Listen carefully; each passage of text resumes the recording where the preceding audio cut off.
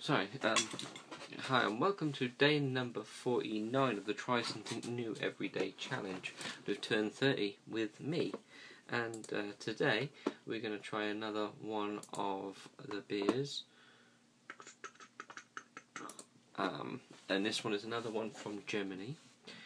Uh, this one is called Franziskaner.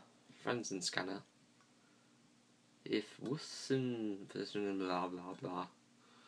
Uh, premium beer, Frankens Frankenscanner. I didn't say it on the front. Frankenscanner. Uh, I don't know if that's how it's pronounced. Um,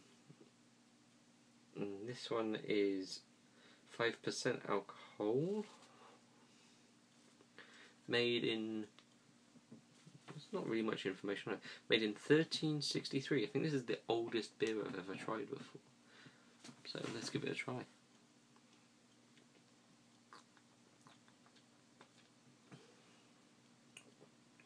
And it tastes old. That is disgusting. I tell you what it tastes like.